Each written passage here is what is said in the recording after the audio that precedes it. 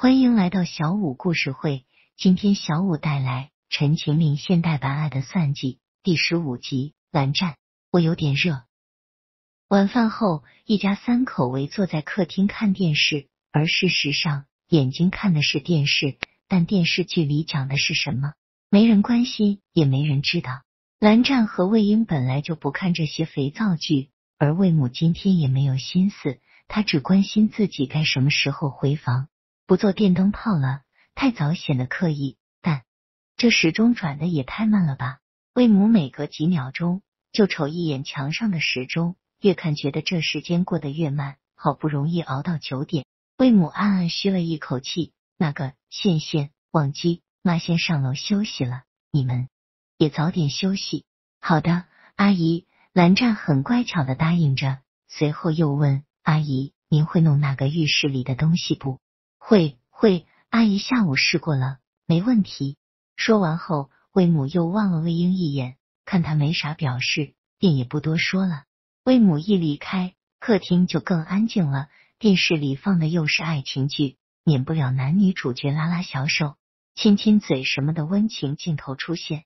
蓝湛倒还好，毕竟以前他们热恋期的时候，偶尔也会选一些国外经典的爱情电影看看。每次看到亲热的镜头，魏婴都会撒娇叫嚷着也要亲亲。这等好事，蓝湛当然是恭敬不如从命了。可魏婴就不一样了，他现在可是属于情窦初开的阶段，意识到了自己对蓝湛的心意，可又知道这个男人不属于自己，心里那种渴望而又矛盾挣扎的痛苦可想而知。更何况，待会他们还要那个同床共枕，生孩子呢。魏婴的心跳早就失去了频率，感觉自己身上越来越热，甚至最后连汗珠都出来了。蓝湛在一次转头的时候发现了他的异常。魏婴，你怎么出汗了？蓝湛看着人额头上密密麻麻的汗滴，再望了眼不远处的落地空调，二十四度不算低，但也不至于会出汗呀呀。哦，我有点热。魏婴拉了拉自己的衣服领口。周末在家没有外出，穿的都是宽松的家居服，领口本身就比较宽，经他这一拉，精致的锁骨若隐若现，上面也有少许的汗珠，衬得莹白的肌肤更是剔透，美色当前。蓝湛不自觉的咽了咽口水，这小妖精实在是惹人犯罪。蓝湛知道不能再看了，再看下去，保不准自己会化身成一匹恶狼，就这样扑上去。把人啃的骨头都不剩，可那双浅眸像是有自己的想法般紧盯着不放，直到魏婴感受到了那道火辣辣的目光，扭头望向他，两人呼吸皆是一致。蓝湛眼里翻滚着的赤裸裸的欲望，燃灼着魏婴的情，蛊惑着他伸手抚向蓝湛的脸。这一幕像是很熟悉。当魏婴纤细的手指触碰到蓝湛的脸时，两人心中奔腾的情感再也压抑不住。蓝湛俯身吻了上去，这张娇嫩的小嘴，自己想念了太久。魏婴，蓝湛呢喃着，在心中无声诉说着：“我爱你，不要你离开我。”蓝湛，蓝湛。魏婴有点迷糊，也有点慌乱，甚至脑海中闪过很多模模糊糊的画面，看不太清，但又好像很熟悉。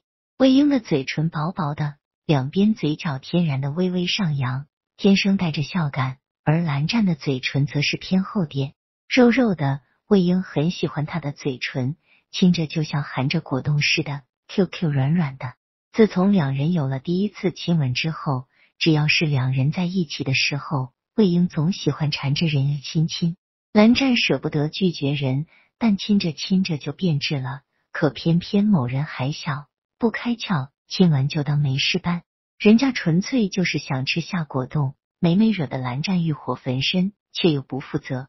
蓝湛被折磨到咬牙切齿，却又无可奈何。谁让这小家伙是自己的心头肉呢？舍不得他痛，所以他们恋爱了几年，婚都结了，却还没有突破最后那步。两边家长还以为自家孩子是不是身体有问题，怎么肚子迟迟没有消息？蓝湛可不管这些，反正一切以魏婴为主，他怎么高兴就怎么来。是个标准的老婆奴，蓝湛也很喜欢亲魏婴，尤其是当他被人亲到痒了，略略笑着，嘴角凹下去的两个小梨窝，看起来笑意盈盈的。蓝湛特别痴恋那两个小地方，总喜欢伸出舌头绕着那个凹点轻轻的舔，像是心中无限的爱恋都凝聚在了那一点。在亲吻时，那种从心头涌上的幸福感，胜过一切的情欲掠夺。这也是他能熬了这么久的原因。蓝湛，魏婴不满某人一直在门外徘徊，微起薄唇，诚邀某人入内与之共舞。收到爱人的邀请，蓝湛离开了梨窝。转移阵地，伸出舌尖，轻轻触碰了一下那粉红的小舌头，引来小人儿身体一阵战栗。嗯呀，魏婴不自觉的低吟了几声，声音娇媚无力，惹得蓝湛身体更硬了。但这可是客厅，岳母大人还在楼上，万一不小心往楼下一瞧，可就……魏婴，蓝湛轻轻挪开压着人的身体，可才刚离开分毫，放在他背上的小手。又用力把他压了回去，小嘴像蝴蝶在追逐花香般不愿离开分秒。同时，甜甜的酒香味从魏婴的后颈处慢慢飘了出来，是魏婴的信息素。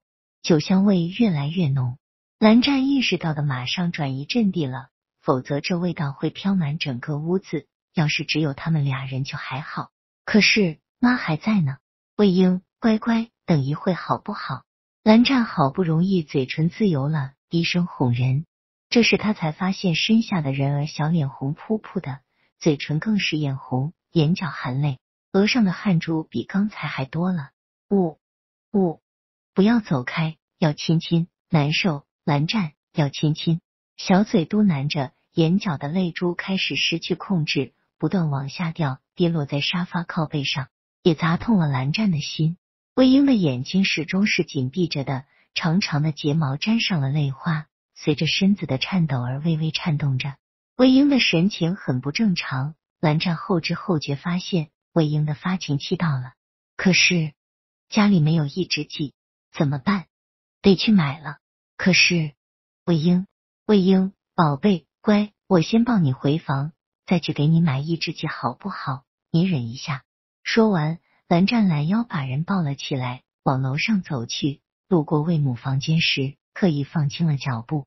可被人抱在怀里的魏婴浑身燥热，一点也不安分，双手环抱着人的脖子，靠着双手的力量，扬起小头颅，湿软的小嘴往人的脸上、嘴唇、脖子处一阵乱拱，小嘴哼哼唧唧，时不时伸出粉红小舌，撩一下蓝湛凸起的喉结。小妖精这撩人劲，发情期更吓人。蓝湛觉得自己快崩溃了。